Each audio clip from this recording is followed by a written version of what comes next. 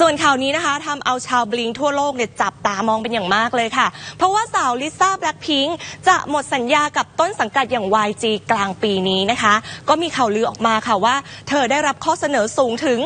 3,000 ล้านบาทให้ย้ายค่ายค่ะ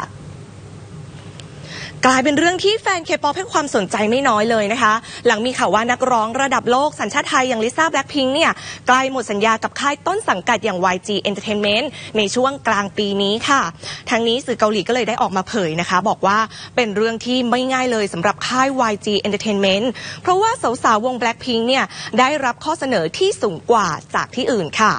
โดยเฉพาะในฝั่งของลิซ่านะคะที่มีข้อมูลวงในบอกมาว่าเธอเนี่ยได้รับข้อเสนอสูงถึง1แสนล้านวอนเลยค่ะ หรือประมาณ 2,700 ล้านบาทเพื่อเปลี่ยนค่ายนะคะ และตามข่าวลือก็คาดว่าอาจจะเป็นบริษัทจากฝั่งจีนค่ะ ส่วนบทสรุปจะเป็นอย่างไร คงต้องรอคอนเสิร์ต World Tour ของ Blackpink เนี่ยเสร็จสิ้นลงก่อน แล้วก็น่าจะมีข่าวอัปเดตออกมาเรื่อยๆ ค่ะ